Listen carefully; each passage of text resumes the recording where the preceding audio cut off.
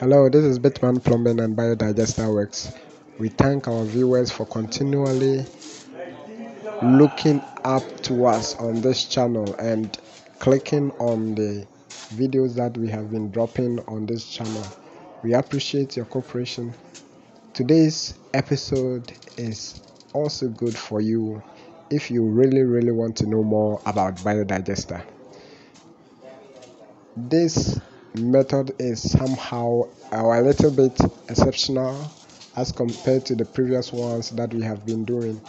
But if you understand the concept of biodigester or what we have been doing, you will really get to know this difference. And the key concept is that you are trying to separate the solid particles from the liquid particles. The solid particles from the liquid.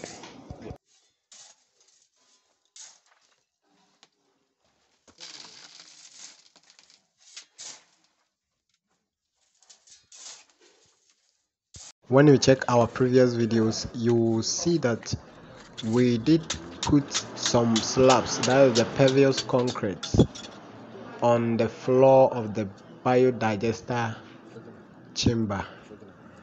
And we also divided the chamber with pervious concrete and others blocks. But the more recommended one as we said in our previous video is the pervious concrete dividing it with pervious concrete.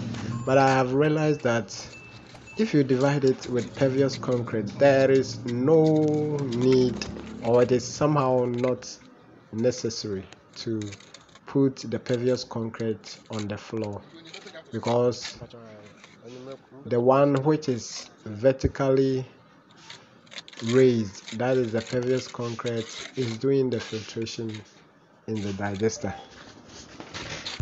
Just have a look at one of the previous works that we have done how we placed the pervious concrete on the floor and also dividing it with pervious concrete at the same time.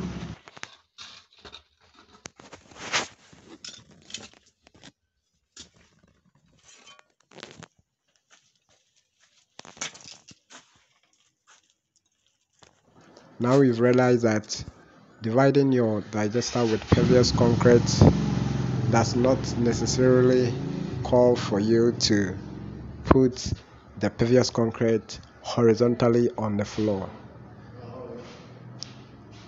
And with that it helps you to save some chippings for other works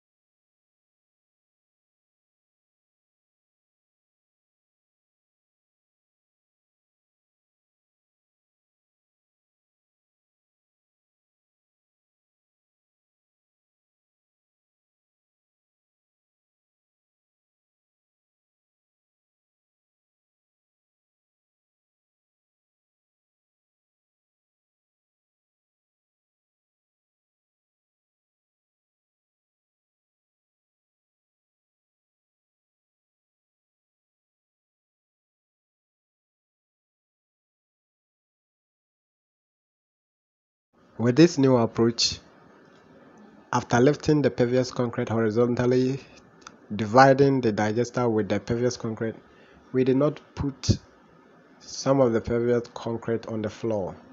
So we left that base, that base here, that's between the floor and the first pervious concrete.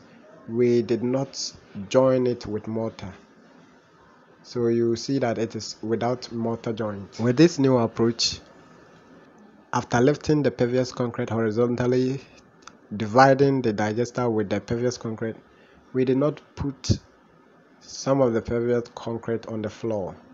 So we left that base, that base here, that's between the floor and the first pervious concrete.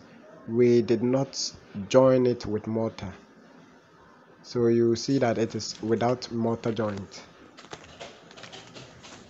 If you love this channel i would like you to like share and subscribe so that it will motivate us to do more videos and also educate you on any trends or any new idea about biodigester.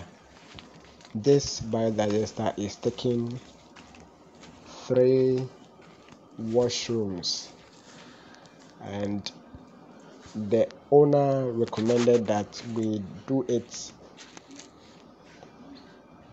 with this dimension